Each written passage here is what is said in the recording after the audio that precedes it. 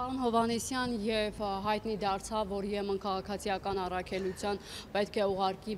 Հայաստան-Ադրբեջան սահման նախ ճշտենք, որտեղ են տեղակայվելու։ Դեռ քննարկվում են այդ հարցերը, այսօր կժամանի տեխնիկական խումբ Եվրոմիությունից, որը կքննարկվի հայն ձեր ձեր նշված հարցերը եւ այլ բոլոր այն չափանիշները համաձայն որի պետք է տեղադրվի Եվրոմիության փաստավակ առաքելությունը։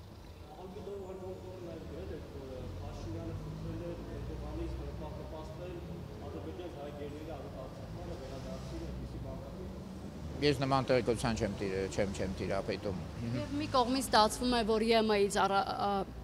առաջարկ ունենք արևմուտքից, մյուս կողմից էլ հապկն է եւս իր հերթին ցանկություն հայտնել, որպեսզի դիտորդներ ուղարկենք ռուսական կողմից։ Փաստորեն ավելի դժվար երկընտրանքի առաջ է կանգնած հայկական կողմը, որին պետք է նախապատվությունը տալ։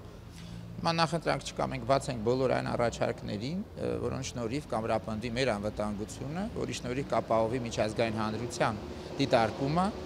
որպեսզի խուսափենք այն իրավիճակին, որը ունեցավ սեպտեմբերին եւ մինչեւ դա։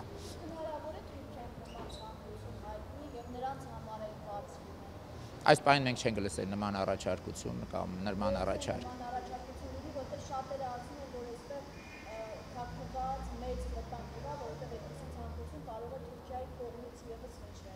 գիտեք չեն կարող sense խոսալ օթի մեջ նման առաջարկություն կամ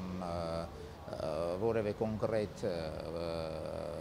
առաջարկ չի ներկայացվել եւ այդ առումով անիմաստ կլինի մեր հիմա այդ հարցի քննարկումը։ Զորքերի հետ քաշման հետ կապված, որովհետեւ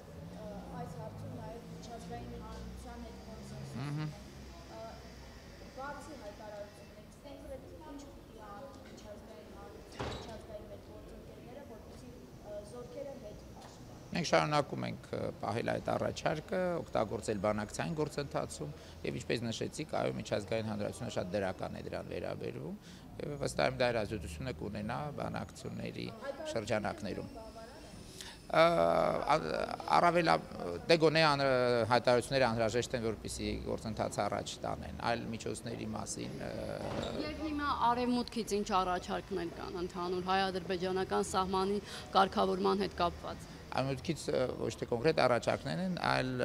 ջանքեր են, որպիսի աջակցեն երկու կողմերին գան այդ ընդհանուր աշտարարի, դա է հիմնականում արևմուտքի